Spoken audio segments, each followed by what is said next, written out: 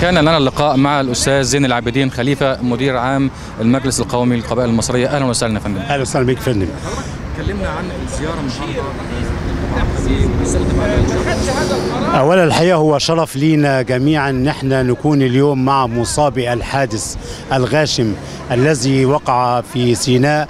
والحقيقة كلنا المفروض كلنا نكون جنود وليس هم الجنود وحدهم بس مصابين إنما مطلوب من كل الشعب المصري كل مواطن شريف وطني عفيف يحب تراب هذا الوطن ويحب القيا- القيادة السياسية.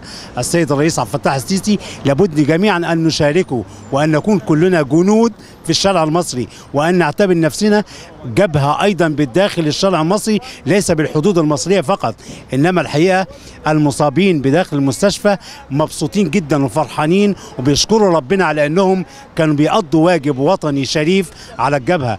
أما فيما يتعلق بأمر ال الخونة الظلمة العمي وهو الإرهاب الأعمى. إن شاء الله سنقضي عليه جميعا.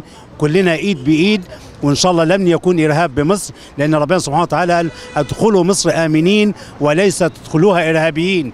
فالإرهابيين ليس لهم محل ولا مكان بيننا والخائن أيضا ليس له مكان في مصر عموما. وإن شاء الله مصر والدول العربية كلها تكون خالية تماما من الإرهاب ونحمد ربنا على النعمة اللي إحنا فيها الآن.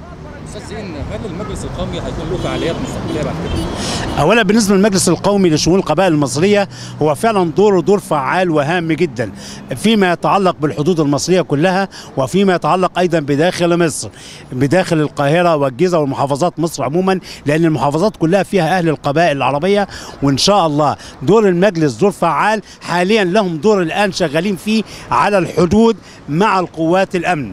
بالكامل مع الجهات الأمنية وتفاعلهم تفاعل وطني ومش محتاج حد يزايد عليهم في وطنيتهم ولا يزايد على أحد في وطنيته في مصريته يعني هل حضرتك هيكون دور المجلس إن هو فعاليات للقبائل فقط أم داخل البلد؟ دور المجلس هو دور المجلس كلمة مجلس قومي يعني مجلس خاص بالدولة يخص كل الناس وكل الشعب المصري ليس فحسب المجلس القومي أو القبائل العربية المصرية لكن كلنا قبائل. كلنا من أهل بعض. كلنا شعب واحد.